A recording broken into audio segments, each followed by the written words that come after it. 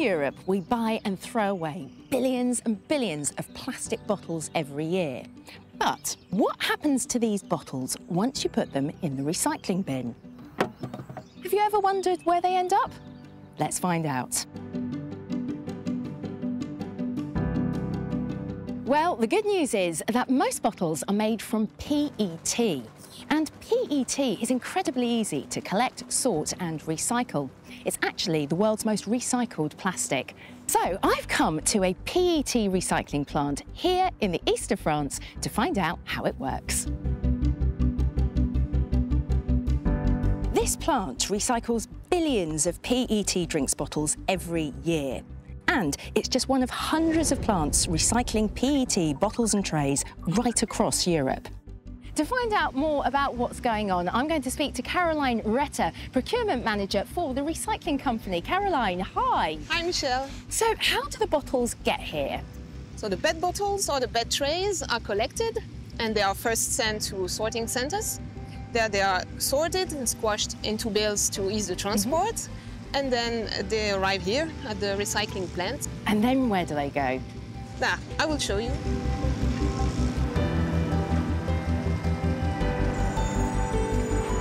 How do the bales get into the system? So here, that's where the bales are cut loose and they are pushed into a conveyor belt and there they will enter the recycling process. So, what's happening now? So the next of the process, magnet separation to remove metal, and you have a pre-wash to remove most of the labels and the glue, and the bottle sorting. After the optical sorting, we also have manual sorting. We have to be sure that we don't let non-PET go further. So after this, the bottles are going further into a grinder and the bottles are grinded into flakes.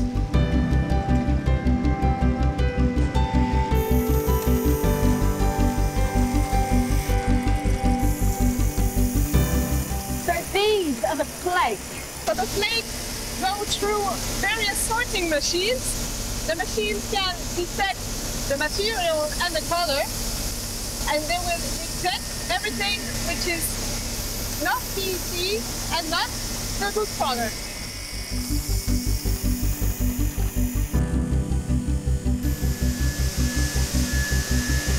So here the flakes are coming, and yeah. the silo, there will be dried, melted, and filtered, and then we get spaghetti of fish that will be then cut into pellets.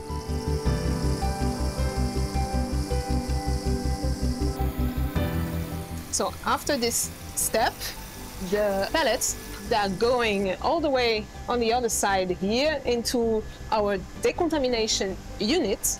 The pellets are going under nitrogen to be decontaminated, and that makes the pellets food approved to be used in food applications. So how many bottles do you think you process in a day here? In a day, it will be approximately 4 million bottles. Wow, that's a lot of bottles. That's a lot. so this is the final product, recycled PET pellets, which are ready to be transported off to make uh, new PET bottles.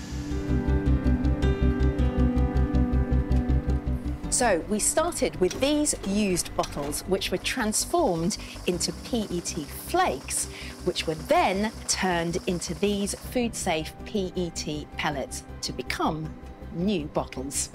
If we all make sure that our PET bottles and trays are collected for recycling, then this process can keep going on and on, closing the loop on the recycling process so fewer bottles end up in waste.